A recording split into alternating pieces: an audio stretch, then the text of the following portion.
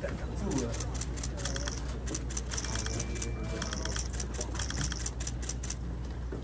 不好意思，我们可以坐一下。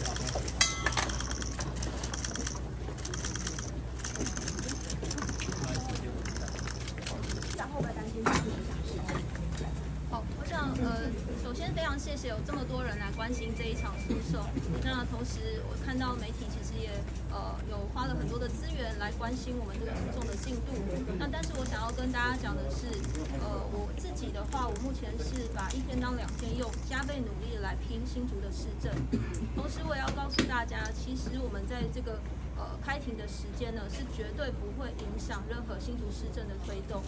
在这两个月以来，我想如果大家有关注这个新竹市政，像大家关注这场诉讼这么的用心的话，其实呢，新竹的市政在这两个月以来，短短的时间内，我们其实就已经有了十四项的新竹公众建公共工程的建设开工或者启用，等于是平均大概每三到四个工作天，我们就有一项工程开工或者启用。我想这都是非常感谢我们所有市政团队大家一起的努力。所以在这边是要告诉大家，尽管诉讼的进度必须要持续的来进行，但是绝对不会因为几次的开庭就影响到新竹市政的运行。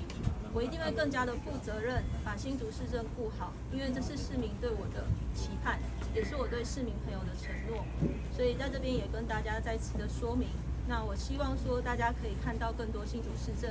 每一次的开工跟启用都代表我们城市又在往前进步一些。谢谢。早上看到很多里长北上声援，你的心情还好吗？呃，事实上我并不知道说里长在现场，呃，当我下车的时候看到我们的里长们在地的里长在这边的时候，其实我心里是相当的感动。那其实我跟里长们虽然说只是上任一年多一点的时间，可是每一次的这个里长的座谈会、里政的报告，其实我都亲自的出席，而且跟里长交流，所以听到很多里长的声音，也努力的来实现他们在里上的大大小小的澄清。所以我想真的很谢谢里长们愿意北上来参与、来声援。那当然我也会不负他们的辜负，我会努力的做好市政，同时也会努力的来准备所有的诉讼的这个战争。要不要讲一下今天开庭状况？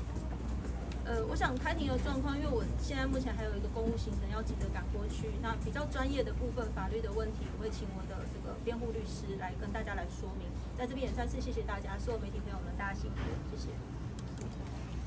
试验相关助理的在调查站以及检察官那边的笔录。那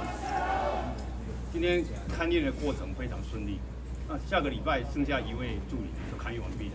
绝对没有像上次准备程序，检察官反对勘验之外，还还故意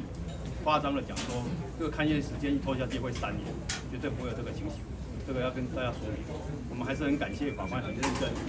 我们很很用心的在准备，事先事先都已经准备好那个勘验的那个内容，所以今天勘验过程非常顺利。那第二个部分就是说，今天勘验结果，我们可以得知，就是检察官或调查站在做笔录的时候，